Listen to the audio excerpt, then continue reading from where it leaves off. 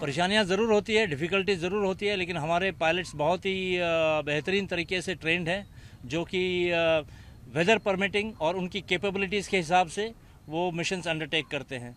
एक छोटा सा एग्जांपल मैं देना चाहूँगा, कल आपने देखा होगा न्यूज़ में, जहाँ की एनडीआरएफ की एक आदमी, उनकी बोट कैप्साइज होने के बाद एक पेड़ के ऊपर वो अपने बचाव के लिए पकड़े हुए थे।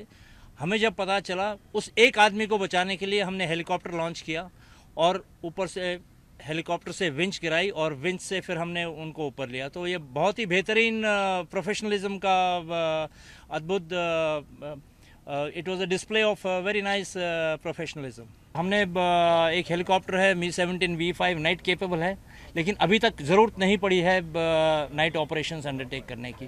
क्योंकि जितने भी टारगेट्स या जितने भी रेस्क्यू ऑपरेशन हमें दिए गए, वो सब हमने डे में ही कंप्लीट कर लिए थे।